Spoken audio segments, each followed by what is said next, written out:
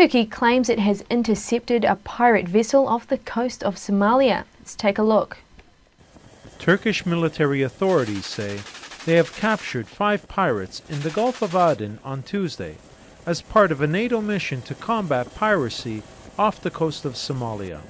The Turkish Navy commandos raided a skiff just as pirates on board were about to attack a ship.